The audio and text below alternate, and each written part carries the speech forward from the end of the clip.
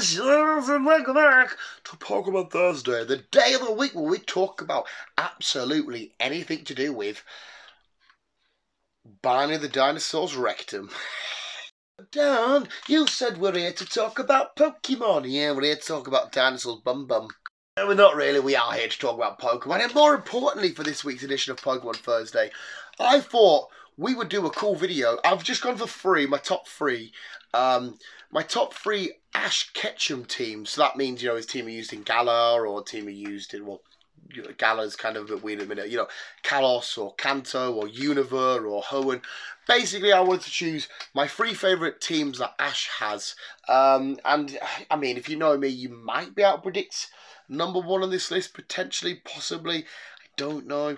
Um, but it's quite cool because Ash has had some very interesting and unique te teams over the years.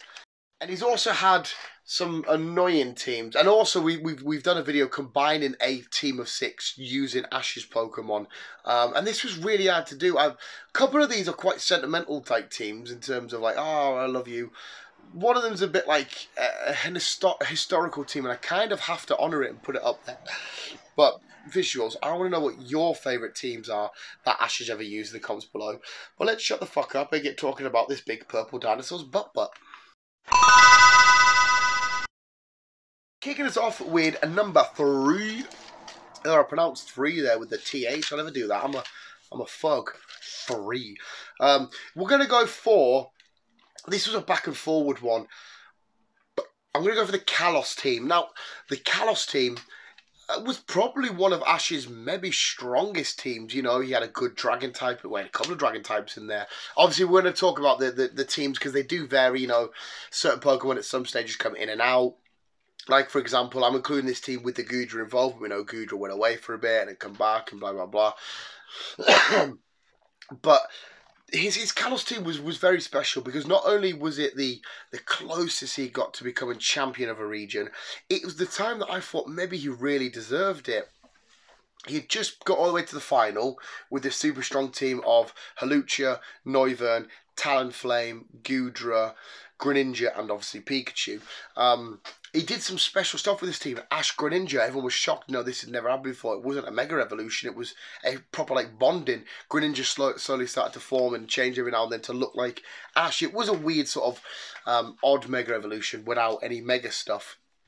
But I remember watching the final of this as if it was a real FA Cup final in Newcastle playing, and I'm giving it, ah, oh, you know, the Age of Slash and whatnot gets taken out and stuff, and they've been knocked out, and oh, the Pikachu's out, Goodra's out, and then we get down to the Greninja and the, the Mega Charizard, and you're like, ah, oh, what's going to happen here?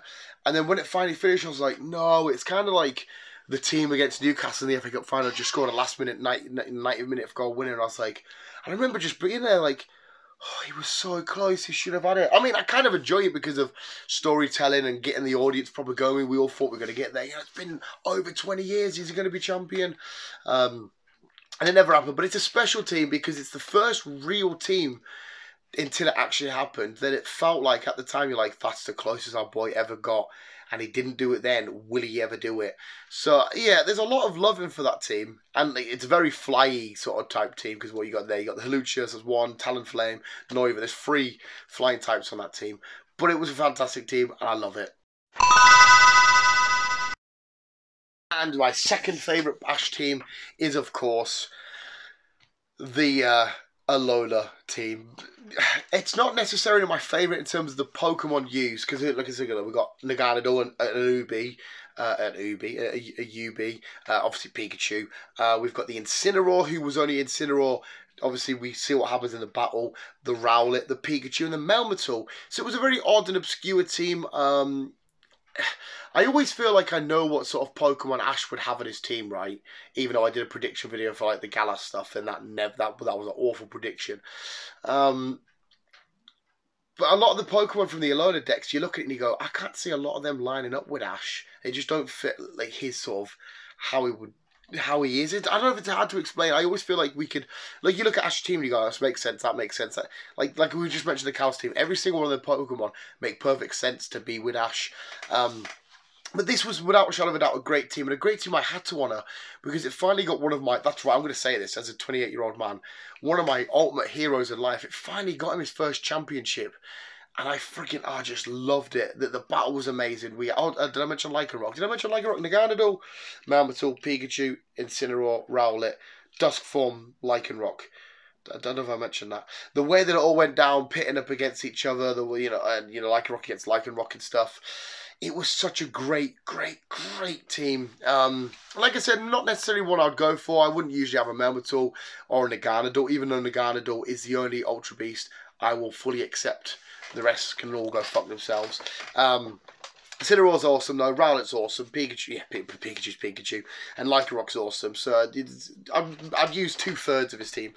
Um, but we, I have to give it props and I have to say thank you to this team and put it in the top 10 or the top three because it's the team that got our boy his first championship, and I was so over the moon and so happy. So yeah, number two spot.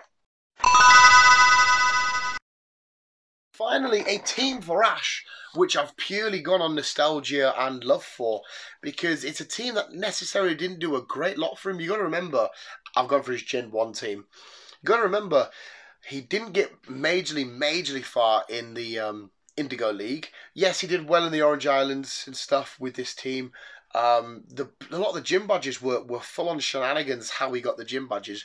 The team didn't actually like proper do a hell of a lot for him in terms of friendship and stuff, we all see them cuddling in the tunnel and whatnot. But yeah, his Kanto team is just so special. We've seen we've got the the four, we'll call them the four starters Pikachu, Squirtle, Bulbasaur, Charmander, obviously. But then you could start to mix it up a li- little bit. We can chuck the likes of Primeape in there, Butterfree, uh, Muk, Snorlax, Lapras, Tauros. It's, there's a different combination you've gone for, but I've obviously gone for, sorry, spoiler alert to anyone that knows me, the Pidgeotto. And I also went for, where is my list? Where is my list? Where is my list? Do your homework, Dan. Do your revision. Uh, I went for yeah, and the Snorlax. So I've gone for the four starters, Pidgeotto and Snorlax. Could have went for Pidgeot, but we know that when everything that transpired, we only saw Pidgeot for a brief time. He saved the Pidgeot, the other Pidgeottos and Pidgeys from the Spearow and Fearows and fucked them off and whatnot. And I love the fact that he had a Pidgeot, and I want a Pidgeot to come back. Um, Pokemon. Go for the Pidgeotto because again, he did so much. He was one of the first few Pokemon he caught. Uh, oh no, was he not the first? Can't remember. No, was it Caterpie then Pidgeotto? Pidgeotto the cat. He was one of the OG OG members of the team. I friggin' loved him so much. For a while, he was his strongest main player. You got to remember he had a, a stage one Pokemon early doors, going through the, the early part of his Kanto adventure. Uh, helped out in loads of situations. In in one of these, he's in the intro card for the first ever anime. I love Pidgeot anyway. And Snorlax, Snorlax is Snorlax is an absolute beast again, I'm for this number one spot. I'm going a lot on nostalgia. I really am because it's my original trilogy of starters. It's Pikachu, the franchise player. It's my first time watching the anime, playing the games, doing the training cards, reading books and mangas and stuff. It's it's the the pinnacle um, of Pokemon greatness for me personally because I'm a Gen One kid. So yeah, the Gen 1 team is my favourite team of all time, and I've gone for, I'll say it one more time, the four starters, Snorlax and Pidgeotto, but like I said, you can have Lapras, Tauros, Primeape, Butterfree. You could sort of mix and match the Kanto team up a fair bit. But number one, the Kanto team. And there we have it, visuals. That was my favourite, uh, my three favourite Ash Ketchum teams because he's had a lot. Of, who else could I have potentially gone for? The Hoenn team was decent, you know, Sceptile and everybody. That that was cool. Uh, Corphish, cool. Um, Unova team. Uh, no, no, I wouldn't have gone for the Unova team. I don't think, even though they did quite all right, I wouldn't have gone for the Unova team. It was quite cool that you know Pikachu took out a few legendaries in the Hoenn team. Uh, the Sinnoh team was a hard one not to get in this list, but ultimately again, they didn't. They did well. Obviously, we beat Gary with this team. You had Heracross in there and the Donphan and stuff, and the way that he of his Pokemon. It's a, a, a team that I did want to put on the list. But in terms of what they actually did for me as a fan, without being biased, because we all know Heracross is uh, is in my top three favorite Pokemon stuff. I try to be biased and try and go off the team of what they did for me as a fan. Yeah, we. You ask me again in a week's time, I probably will change my mind. But visuals, they were my three favourite Ash Ketchum Pokemon teams. Let me know yours in the comments below. Who was your favourite? Who was your least favourite? Who was your favourite on each team? Who was your least favourite on each team? Which Pokemon do you wish Ash did catch or didn't catch or whatever you want to let me know. But visuals, apart from that, that was Pokemon Thursday. And if you did enjoy, well, Booski or Booski, let me know in the comments below anything you want to let me know about, just just absolutely anything. Hopefully you're doing alright. Let me know that you're doing alright in the comments below. And apart from that visuals, thank you so much for watching. You guys are literally the fucking best from always keep being you and keep out, keep it out.